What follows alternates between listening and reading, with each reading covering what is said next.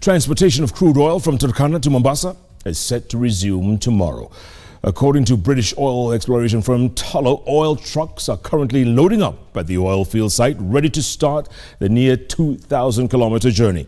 Tullow Kenya Managing Director Martin Mbogo says staff have already resumed duty on the Turkana sites, with work on having steady supply on crude oil underway. Last week, Petroleum Cabinet Secretary John Munyes indicated that the trucking would resume today after reaching agreement with the local community who had forced the operations to be shut down.